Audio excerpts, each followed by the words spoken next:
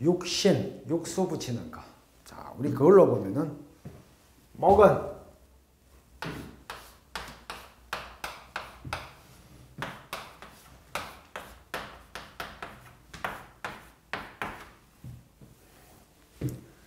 육수 붙이는 거는 자 일진 가지고 붙이는데 일진을 기준으로 하는데 일천간을 가지고 합니다.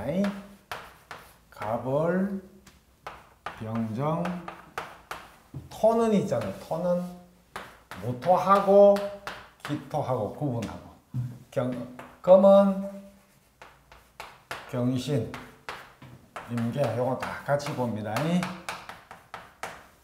자 갑을은 가을은 봄이니까 색깔이 뭡니까? 청색이죠, 그죠? 청색이기 때문에 이건 청룡에 해당되고 화는 불잖아요, 그죠? 붉으니까 주작에 해당되고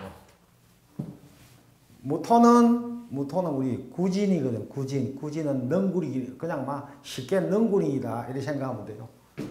요거는 구진에 해당되고 기토는 원래 지청이 얇잖아요, 그죠?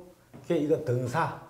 등산에 사람이 깜짝깜짝 놀래고 하나, 하잖아. 그죠? 사람이 가볍단 말이야. 가벼운 사람이 원래 놀라기도 잘하고 그러는 거죠. 사기도 잘 치고, 그죠? 요거는 검은 백색이잖아. 그죠? 그래서 백호에 해당되고. 물은 검으니까 검을 현자에 현무가 되는 거예요. 우리 풍수에 보면은 딱 사람을 입간해가지고 탁 놓는 머리 있는 방향이 뭡니까? 북쪽이잖아, 그죠? 그 북쪽이 현무란 말이야. 발이 있는 데는 주작이잖아, 남쪽이니까, 그죠? 또, 왼쪽은 청룡이잖아요, 동쪽이니까. 또, 서쪽은 백호면. 그 자청룡, 우백호인 거야. 그러니까 청룡하면은 자척을 의미하는 거예요. 주작은 남쪽, 그죠? 백호는 자, 정령 500호니까 우측을 가하고 현무는 북쪽을 가하고 그죠? 똑같습니다. 명인선언은 다 똑같아요.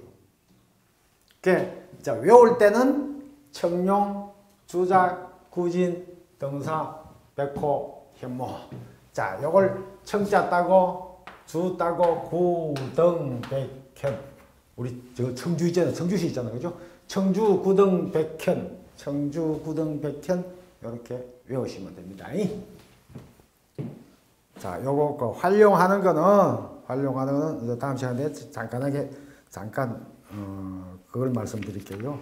이제 요거 그저 그, 청룡은 어떻고 주작은 어떻고 어?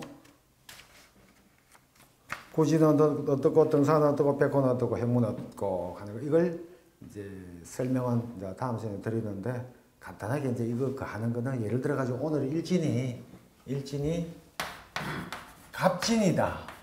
그런 것들 이게 뭐예요? 청룡이잖아요. 그죠? 그 우리 여기에 오늘이 청룡이고 아까 외우라 했죠. 그죠? 요 청, 주, 구, 등, 백, 현 이렇게 붙여나간단 말이에요. 밑에서부터.